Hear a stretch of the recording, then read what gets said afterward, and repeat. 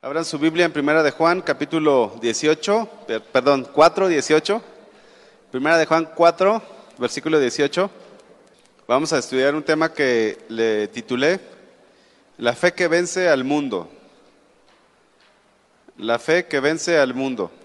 Y vamos a retomar el versículo donde nos quedamos la clase pasada. Primera de Juan 4, 18. Vamos a orar. Señor, te damos gracias, Señor, por este tiempo. Mi Dios, gracias porque estamos reunidos para estudiar tu palabra, Señor. Estamos aquí, Señor, en tu presencia. Y rogamos, Padre, que te rogamos que tú nos hables, nos instruyas, nos enseñes. Que tu Santo Espíritu, Señor, eh, obre en nuestras vidas, Señor. Que tu palabra, Señor, penetre en nuestros corazones. En el nombre de Jesús. Amén. ¿Ya está ahí? ¿Sí? Dice el versículo 18. En el amor no hay temor, sino que el perfecto amor echa fuera el temor. Porque el temor lleva en sí castigo, de donde el que teme no ha sido perfeccionado en el amor. Eh, aquí el contexto es, primera de Juan 4, 18, el contexto es el, el amor al Padre, ¿verdad? Ese es el, el contexto. Cuando una persona ama a Dios, eh, el, el amor que podamos tener hacia Dios nos va a alinear a su perfecta voluntad. Eh, quizás no, como les decía la, la, semana pasada, quizás no conozcamos toda la Biblia, pero si amamos a Dios vamos a estar en su perfecta voluntad. Y una de las características de, de cuando amamos a Dios es que no tenemos temor al castigo. Eh, Esta palabra temor significa miedo, es, es la palabra phobos, y significa miedo o alguien que huye. Entonces, hay una clase de temor que es bueno, el temor a Dios, que, que habla acerca de, darle reverencia y de darle honra, pero hay un temor que es malo. Este temor es un sentimiento que produce eh, por recibir un castigo. Cuando, cuando un hijo se porta mal, tiene temor, ¿verdad?, a los padres. ¿Sí o no? ¿Verdad que sí? Y cuando un hijo se porta bien, ¿tiene temor a los padres? ¿Verdad que anda con libertad? Entonces, esto es lo que está diciendo este pasaje, este versículo. En el amor no hay temor. Cuando estamos amando a Dios, podemos andar tranquilos. Cuando estamos caminando en su perfecto amor, podemos dormir tranquilos, podemos levantarnos y llevar una vida tranquila en Él, vivimos confiados. Pero si alguien está engañando a su esposa, ¿usted cree que va a estar confiado? Pues no. Va a tener temor a ser descubierto y si, y si tiene algo de conocimiento de Dios, eh, va a tener también temor de Dios. Cualquier ratito Dios va a traer una disciplina, porque Dios al que ama, disciplina. Entonces, también hay, hay, dos cosas. Podemos obedecer por temor a Dios o podemos obedecer por amor a Dios. ¿Usted cómo obedece? ¿Por temor o por amor? Bueno, eh, eh, debemos de obedecer por amor a Dios. Y cuando el amor de Dios se perfecciona en nosotros, entonces eh, hacemos las cosas porque estamos eh, con la conciencia de que queremos agradar a Dios, no por, por obligación, sino porque le amamos. Entonces, cuando vivimos en el amor de Dios, se disipa todo temor. No vamos a temerle a nadie. Así que si a veces viene un pastor, ¿verdad? El pastor Chuy va bajando y viene el pastor Chuy. Y hay gente que le tiene temor. O a la pastora Vicky, yo, yo he, he visto, ¿no? Este, como, como, ¿Por qué tener temor? ¿Estamos haciendo algo malo? pues no. Ahora, eso lo trasladamos a Dios también. ¿Por qué, tenemos, por qué vamos a tener temor de Dios? Ese, ese temor al castigo o ese miedo, si estamos actuando de forma correcta. Entonces, este, si es dado que en las iglesias hay, haya gente que le tenga temor a los pastores. Ah, a nosotros nos ha tocado estar en algunas iglesias y, y sí, como que no hay una libertad de que la gente se acerque. Pero cuando estamos en el amor de Dios, llegas con toda la libertad y, y, sabiendo que no tienes nada que esconder. Entonces este tipo de temor es producido por el castigo, eh, que sabemos que merecemos por nuestra desobediencia, pero cuando caminamos en el, en el amor de Dios, no sucede tal cosa. ¿Se acuerdan ustedes que el pueblo de Israel tuvo temor de acercarse al monte? Y dijo, no, no, no nos acerquemos nosotros porque vamos a morir. Acércate tú, Moisés. Pues que muera Moisés, ¿verdad? Este, pero ellos no se acercaron por temor. Pero ahora en el Nuevo Testamento tenemos, eh, tenemos libertad para entrar al lugar santísimo, a la misma presencia de Dios. Dice la palabra que no hemos recibido el espíritu de esclavitud para estar otra vez en temor, sino que hemos recibido el espíritu de adopción por el cual clamamos, Abba Padre. Un, un, bebé de dos años no le tiene temor al papá y a la mamá, ¿verdad? Porque sabe que, que son sus padres. Nosotros, cuando estamos en el amor de Dios, no le tenemos temor a Dios. Eh, yo, recuerdo que antes hasta le tenía temor a que Dios me hablara. Decía, no, si me habla me voy a morir aquí. Y ahora no, al contrario, le digo, Señor, háblame, háblame, háblame, anhelo oír tu voz. Señor, quiero que tú me guíes. Pero antes, antes había un temor de decir, no, es que si ahorita el Señor me habla, quién sabe qué tantas cosas me va a exhortar y mejor que no, mejor que no me hable. Un temor. Versículo 19, nosotros le amamos a Él porque Él nos amó primero. La fuente de nuestro amor hacia Dios radica en que Él tomó la iniciativa y, nos amó. Él nos amó. La consecuencia de arrepentirnos es un amor puro, un amor eh, sin mancha, un amor hacia Dios. Dios cambia nuestros corazones de piedra por un corazón de carne, nos transforma, derrama sobre nosotros su espíritu, su Espíritu Santo, y entonces podemos amar.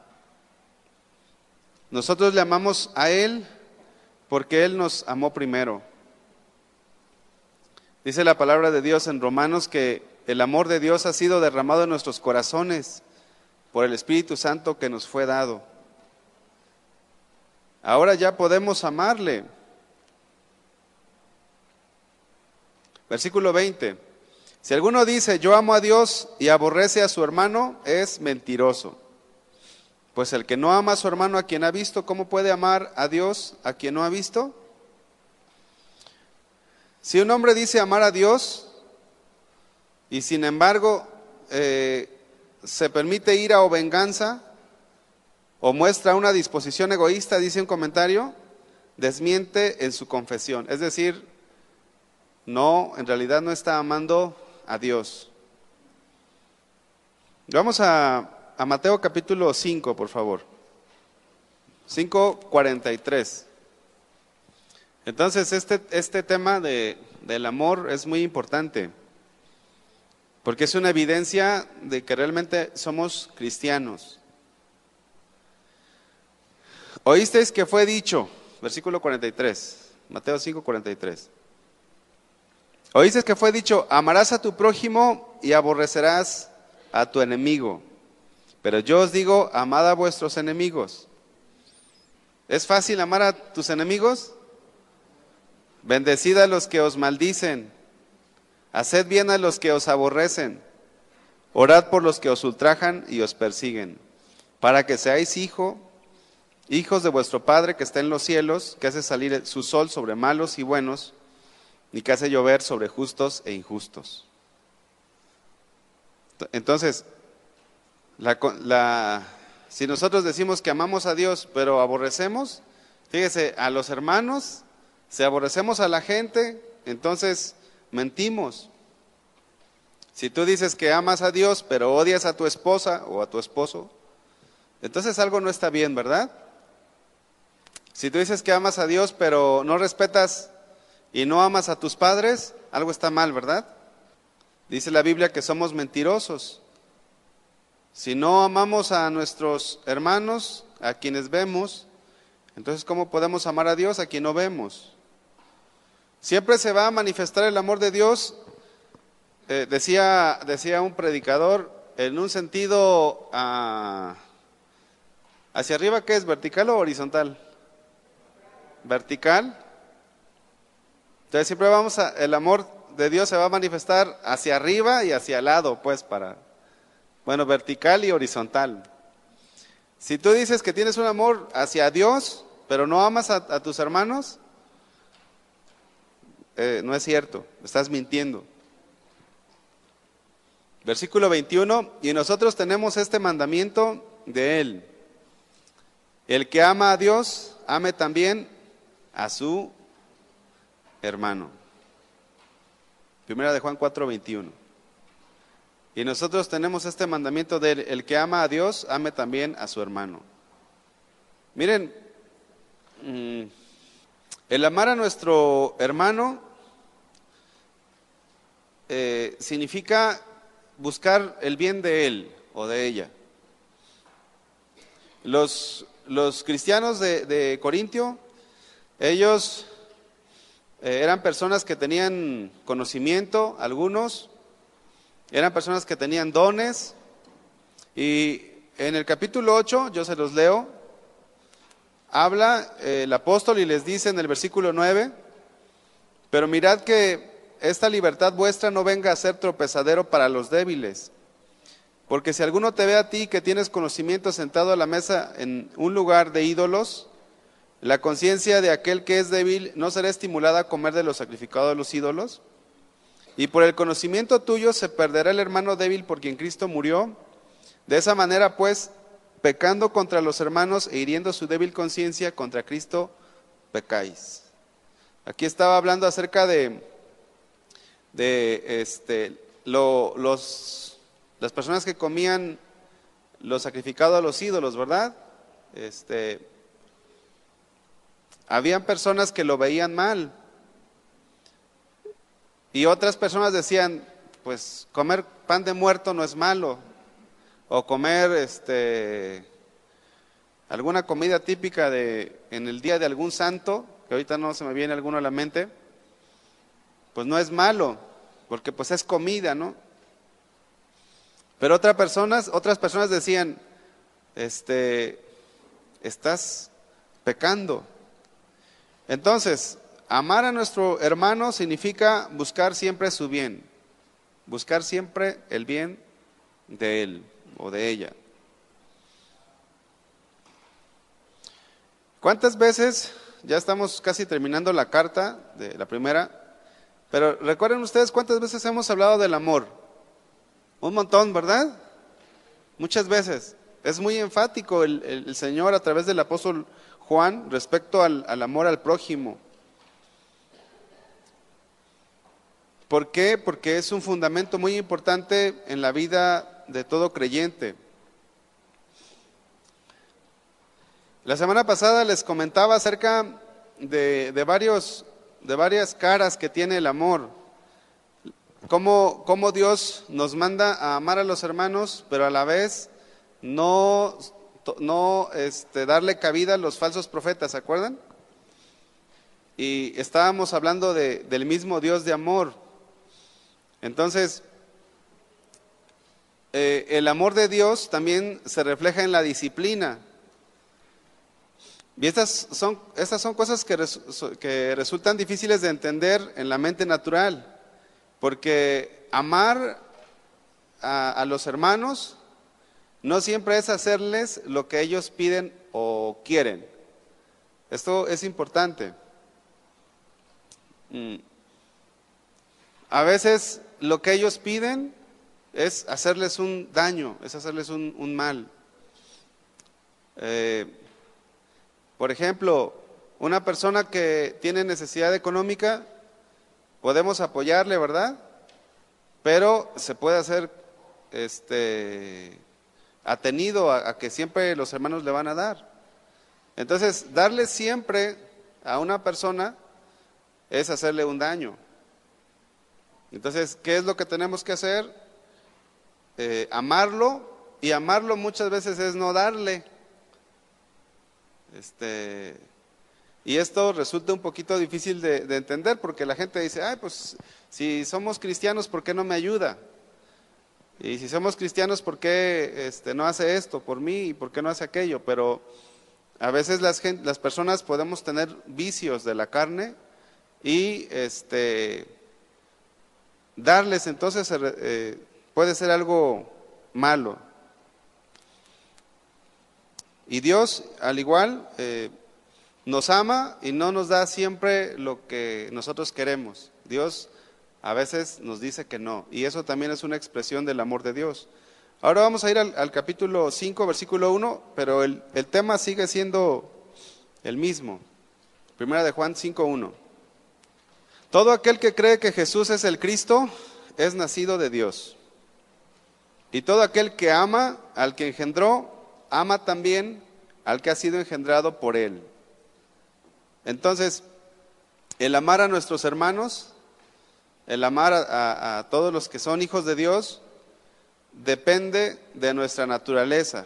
Si ya nacimos de nuevo, podemos amar a todos. Pero aún así es difícil, ¿verdad? Yo, me he percatado de que cuando el amor de Dios no sea, no sea perfeccionado en nuestra vida, puede resultar difícil amar a todos. ¿Usted ama a todos en la iglesia? Somos un montón, ¿verdad? Pero podemos, si hemos nacido de, Dios, si ya nacimos de nuevo, teniendo la misma naturaleza del Padre, podemos amar a todos, a todos los hijos de Dios. Nuestro amor a los demás es directamente proporcional al amor que tengamos hacia el Padre. Nuestro amor a Dios es, eh, nuestro amor a los demás es directamente proporcional al amor que tengamos hacia Dios, hacia el Padre. No se puede separar el amor de Dios y el amor hacia los hermanos. No lo podemos separar. Versículo 2. Primera de Juan 5, 2. En esto conocemos que amamos a los hijos de Dios cuando amamos a Dios y guardamos sus mandamientos. En esto es como nos vamos a dar cuenta si estamos guardando los mandamientos de Dios. ¿Y qué vamos a hacer con las personas que no son fáciles de amar? ¿Se acuerda la, enseñanza del domingo? ¿Qué vamos a hacer con la, con la, la piedrita en el zapato? ¿Cómo decía el pastor Chuy? Con la hermana martillo. O, el hermano clavo. ¿Nos vamos a cambiar de iglesia? No, ¿sabes qué? En esta iglesia no hay amor. A mí no me aman. Pero el mandato no es, no es a que tú estés en la iglesia porque te amen, sino el mandato es que tú tienes que amar, que yo tengo que amar. Hay personas, hermanos, que no son fáciles de amar, eso es una realidad. Pero, ¿por qué? Porque todos estamos en el proceso. A lo mejor se te dificulta amar a alguien. ¿Y qué vas a hacer? Pues crecer en el Señor, ¿no? Eso es lo que tenemos que hacer. Tenemos que ser pacientes. Vean cómo, qué dijo el apóstol Pablo allí en Efesios capítulo 4. Efesios 4, 1. Déjenlo, lo voy a buscar en la, en la versión Reina Valera. ¿Ya están ahí? Yo pues preso en el Señor, os ruego que andéis como es digno de la vocación con que fuisteis llamados, con toda humildad y mansedumbre, soportándoos con paciencia los unos a los otros en amor. Entonces, ¿qué tenemos que hacer? Pues aguantar y amar Sí, porque en la iglesia van a haber conflictos. Tú vas a tener de repente diferencias con un hermano, con una hermana, con una familia. Si, si, te pidieron dinero prestado, pues al ratito que no te paguen, ¿los vas a amar? Pero después puedes decir, pues ya no voy a, ya no voy a ayudar a nadie. Pues no puedes hacer eso. Entonces, ¿qué hago? ¿Qué debes de hacer? Amar. Amar. Si alguien te hizo un, un, daño, si alguien te ofendió, ¿qué tienes que hacer? Perdonar y amar. Miren, otra versión dice el versículo 2, sean humildes, amables y pacientes, y bríndense apoyo por amor los unos a los otros. En otra versión dice, sean pacientes unos con otros y tolérense las faltas por amor. Aquí está más claro, ¿verdad? Entonces tenemos que tolerarnos las faltas. Esto no significa que toleremos el pecado, ¿eh? es otra cosa. Aquí está hablando acerca del, del carácter. Si hay algún hermano o alguna hermana que no ha crecido mucho en su carácter y tú ya, ¿qué es lo que tienes que hacer con el hermano o la hermana? Pues amarlo. Así como a ti te tuvieron paciencia, Así como a mí me han tenido paciencia y me han amado, pues yo tengo que amar también. Y me tienen que amar, aunque no quieran. Porque somos cristianos, porque tenemos la naturaleza del Padre, porque tenemos al Espíritu Santo. Entonces, hay que amarnos, hermanos. Vamos a primera de Pedro 4:8.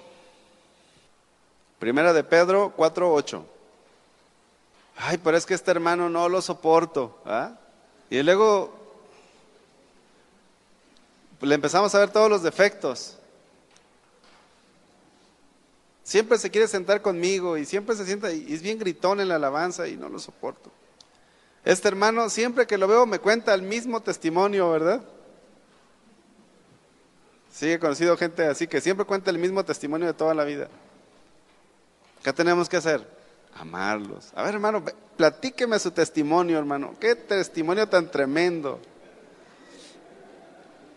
Hay que amarnos. ¿Qué otro ejemplo le doy? No, mejor así. Vamos a seguir leyendo. Primera de Pedro 4:8. Y ante todo, tened entre vosotros ferviente amor. Ante todo, fíjate. No dice este, conoce mucho de la palabra, que eso es importante, ¿verdad? No habla de los dones, de los talentos. Un cristiano, ¿qué debe de tener? Ferviente amor. ¿Por qué? Porque el amor cubrirá multitud de pecados. Dice otra versión, porque el amor es capaz de perdonar muchas ofensas. El amor es capaz de perdonar muchas ofensas. ¿Se acuerdan? La semana pasada leíamos que el apóstol Pablo dice que amando más era amado menos. Y tienes que amar. Eh, me gustó una reflexión que leí hace, hace unos días acerca de la naranja cuando, es, cuando se exprime. ¿Qué da la naranja cuando se exprime? Jugo de naranja, ¿verdad? Juguito. Y si la exprimes más fuerte, ¿qué da? Jugo, va a dar jugo siempre, porque ¿qué es lo que tiene adentro? Ya llega el momento en que la exprimes y ya no sale nada, pero, pero si tú la exprimes, ¿qué va a dar? Jugo. Entonces, si tú estás lleno, estás llena de amor, ¿qué es lo que vas a dar? Aunque te estén exprimiendo y llega un hermanito y, y habla mal de ti y otro hermanito te levanta calumnias, tú vas a estar amando. ¿Cuántos quieren tener un corazón así? Dice la Biblia, porque el amor es capaz de perdonar muchas ofensas. Y les decía la, la, ocasión pasada que si alguno quiere servir, tiene que tener amor. A lo mejor no cantas tan bonito o no predicas así tan padre, pero un requisito es que tengas amor. Amor para los hermanos que vas a estar sirviendo. Romanos capítulo 13, dice, versículo 7. Pagad a todos lo que debéis. Al que tributo, tributo. Al que impuesto, impuesto. Al que respeto, respeto. Al que honra, honra. No debáis a nadie nada, sino el amaros unos a otros. Porque el que ama, el que ama al prójimo ha cumplido la ley. Porque no adulterarás, no matarás, no hurtarás, no dirás falso testimonio, no codiciarás. Y cualquier otro mandamiento en esta sentencia se resume. Amarás a tu prójimo como a ti mismo. Entonces, ¿qué es lo que tenemos que hacer nosotros? Amar a nuestro prójimo. Y en eso se resumen todos los mandamientos, ¿verdad? En dos, dijo el Señor Jesús, ahí en Mateo capítulo 22, versículo 34. Versículo 37.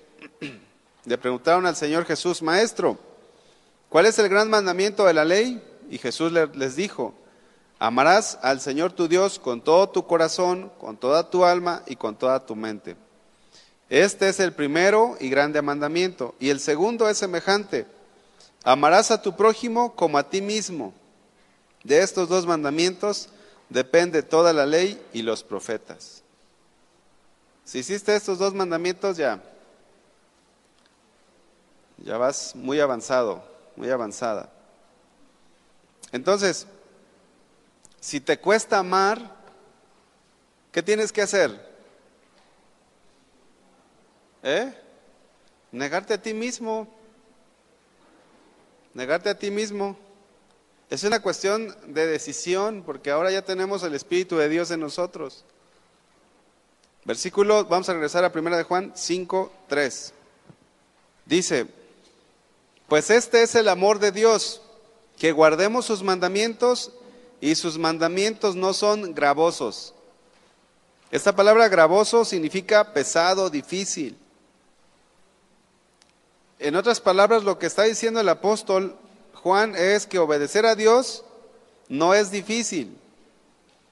A veces resulta contradictorio, ¿verdad?, entender este tipo de pasajes. Pero recuerde usted su primer amor, bueno, los que ya han tenido un primer amor. Y, era tremendo, ¿no? O fue tremendo porque este, obedecías a Dios y no importaba que tu papá te castigara o que en el trabajo hablaran mal de ti, no te importaba nada, porque estabas enamorado de Dios, enamorada de Dios. Cuando amamos a Dios, entonces eh, no es difícil obedecer los mandamientos. Se torna difícil cuando no amamos a Dios o cuando no le amamos como debemos amarle. Cuando amamos más a nuestro trabajo, cuando amamos más a nuestra familia, cuando amamos más al dinero o otra cosa más que a Dios, entonces se nos hace muy pesado el camino del Señor. Pero si nosotros le amamos, a Dios, no va a ser difícil. Una persona que, está, este, está siendo seducido por el pecado es porque no ama a Dios de una forma correcta. Así que por eso tenemos que amarle. En la cuestión del servicio, si no amas a Dios como debes de amarle, entonces servirle eh, se te hará difícil, se te hará pesado servir. Es que tengo que llegar a las a tales horas, ¿no? no sé, dependiendo del ministerio en el que, en el que tú estés sirviendo. Este, pero por ejemplo acá con, nosotros en, en los jóvenes, una hora antes, no, una hora y media antes del servicio, que tenemos un discipulado.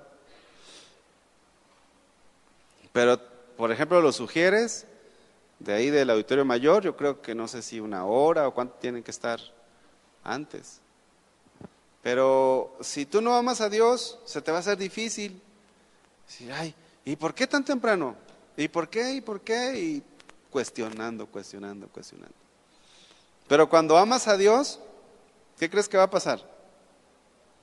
Bien padre, ¿verdad? Oye, creo que hay que estar ahí este, el domingo para dar clase a los niños en el servicio de las 8. Hay que estar a las siete y media. Ah, pues a las siete y cuarto, no a las siete ya estás llegando. Y todavía no abren el, portón y tú ya estás ahí parado, parada. Porque amas servir a Dios. Y no, no lo haces renegando, no lo haces este, eh, como, como cuando obedecemos eh, a regañadientes, ¿verdad?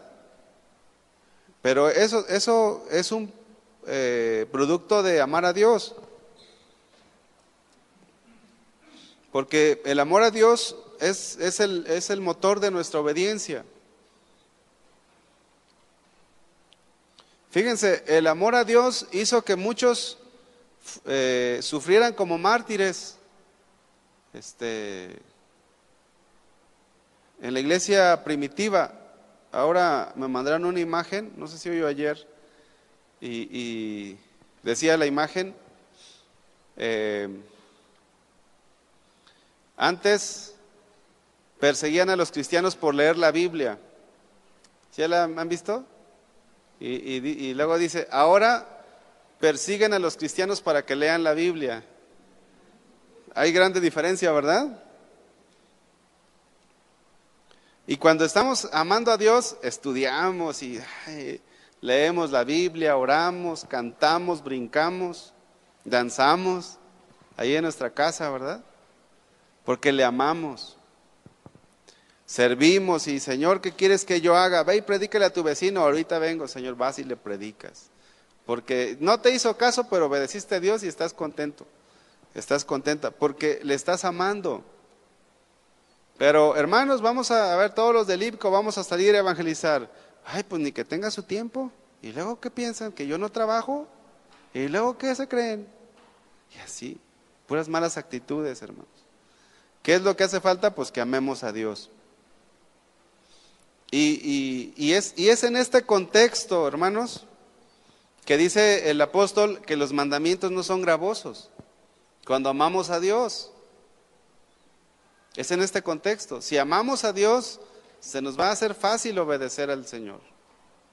Y es en este contexto también, en el versículo 4, primera de Juan 5, 4. Porque todo lo que es nacido de Dios vence al mundo. Y esta es la victoria que ha vencido al mundo, nuestra fe. Esta palabra vencer significa subyugar, significa alcanzar la victoria, prevalecer, triunfar. Alcanzar la victoria, prevalecer, triunfar. Porque todo lo que es nacido de Dios vence al mundo. Si amamos a Dios, vamos a vencer cualquier obstáculo que venga. Esta es la victoria que ha vencido al mundo. Y esta palabra victoria significa eh, poder que hace la victoria posible. ¿Qué es lo que hace la victoria posible? Nuestra fe, el creer en Jesús. Creer verdaderamente en Jesús trae una serie de condiciones a nuestra vida. Eh, eh, el problema de, este, de este versículo, bueno, no es que el, versículo sea un problema, sino que el problema es que muchos dicen ser cristianos y no lo son. O sea, muchos dicen tener una fe genuina y no tienen una fe genuina. Pero los que realmente tenemos fe en Dios y tenemos fe en Jesús, podemos vivir en victoria. Claro, es, este, depende de que estemos siempre con el Señor, eh, permanezcamos en Él. Vamos a abrir la Biblia en Romanos capítulo 8, versículo 31.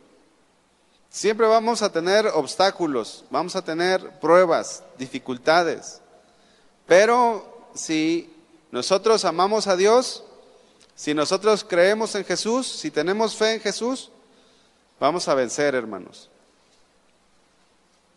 El Señor no, nos concibe como derrotados, nos concibe como vencedores. Él, él, le dijo a sus discípulos, en el mundo tendréis aflicción, pero confiad, yo he vencido al mundo. O sea, podemos tener la certeza de vivir en victoria cuando estamos haciendo su voluntad. Versículo 31, Romanos 8:31. ¿Listos? Dice, ¿Qué pues diremos a esto? Si Dios es por nosotros, ¿quién contra nosotros? No hay poder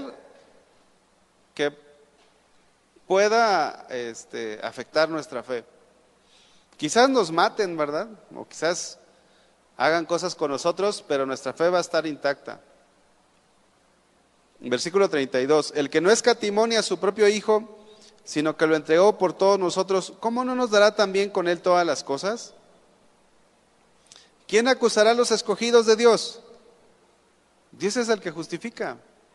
Si tú estás andando en el amor de Dios, no tienes que tener temor de las acusaciones. No tienes que tener temor.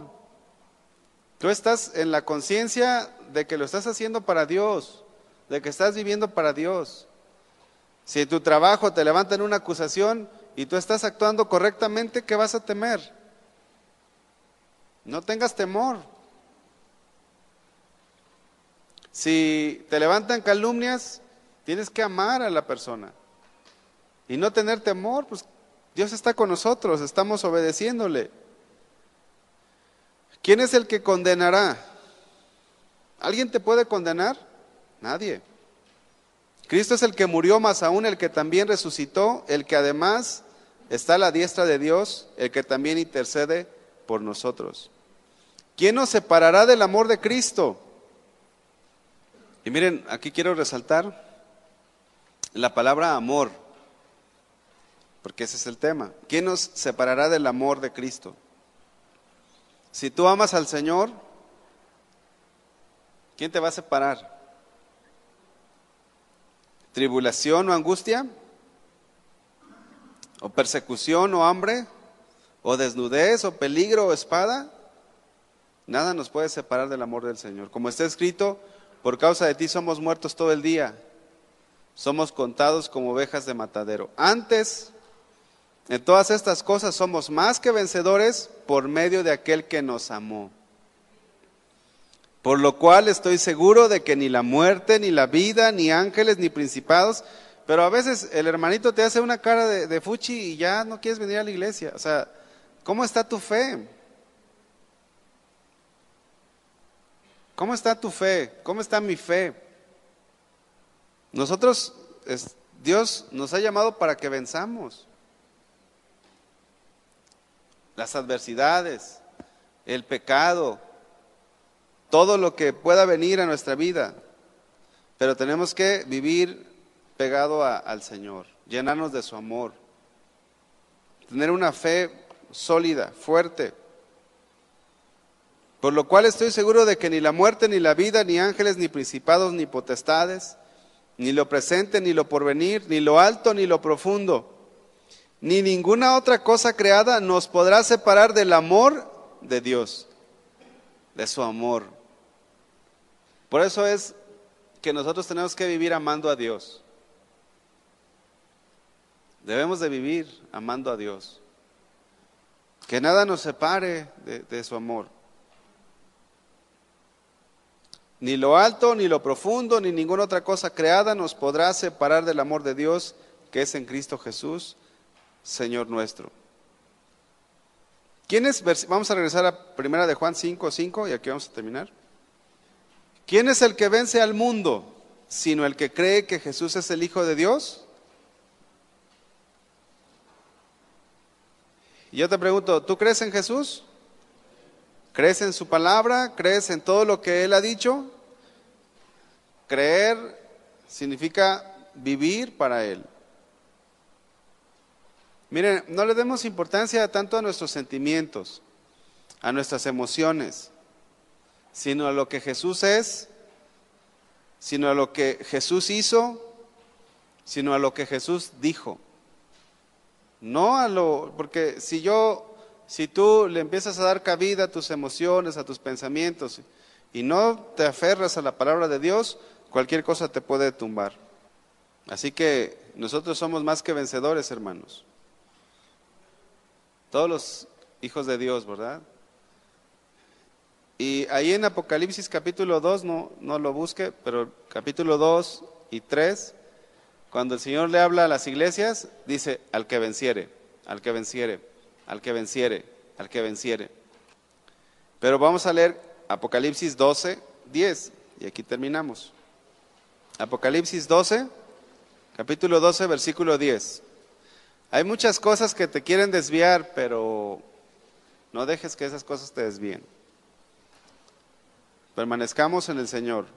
Entonces oí una gran voz en el cielo, versículo 10, Apocalipsis 12, 10.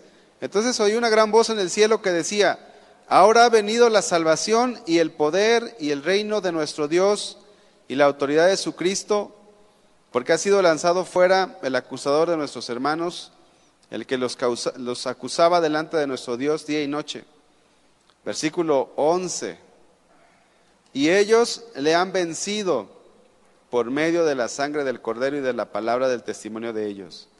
Y menospreciaron sus vidas hasta la muerte.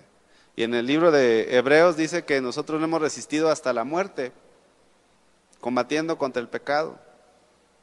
Pero como hijos de Dios, hermanos, como personas que tenemos fe, nuestra fe puesta en Jesús, como personas que amamos a Dios, podemos vencer. No hay algo que, no, no, no podamos vencer. Nada nos puede separar del amor de Cristo. Nada. Nada. ¿Por qué? Porque somos hijos de Dios. Tenemos una nueva, somos una nueva criatura. Tenemos el Espíritu Santo. ¿Cuántas cosas Dios no nos ha dado? El Señor está en nuestro corazón. Mayor, dice, ¿se acuerdan ustedes que, que en esta carta también estudiamos porque mayor es el que está en vosotros que el que está en el mundo. Entonces, la carta de, Primera de Juan, pues vemos muchos peligros, peligros de falsos cristos, falsos hermanos. El, el apóstol escribió y dijo, no amen al mundo ni las cosas que están en el mundo. Todo eso viene en esta carta, pero él concluye diciendo, somos más que vencedores. Sí tenemos muchos peligros, sí tenemos muchas cosas adversas a nuestra fe. El camino no es fácil, el camino es angosto. Pero si tú amas a Dios, pero si tú te aferras al Señor, si crees en Jesús, somos más que vencedores. Esta es la victoria que ha vencido al mundo. O sea, el mundo te va a querer atrapar, pero esta es la victoria que ha vencido al mundo nuestra fe. Amén. Oremos, hermanos. Señor, te damos gracias, Señor, porque nos has dado la victoria. Tu palabra dice que no temeremos a diez millares de gentes que pusieran sitio contra nosotros. Aunque un ejército acampe contra mí, no temerá mi corazón. Aunque contra mí se levante guerra, yo estaré confiado. Gracias Señor porque tú no eres como los demás dioses de esta tierra. Tú eres un Dios todopoderoso, capaz de darnos la victoria en medio de cualquier situación. Que tú estás con nosotros. Gracias mi Dios. No permita Señor, ayúdanos. Danos de tu gracia Señor, que podamos vencer siempre. Si alguno está débil en la fe, Señor, fortalécelo. Dale de tu gracia, de tu favor, porque tú nos has hecho más que vencedores. En el nombre de Jesús, Señor. Amén.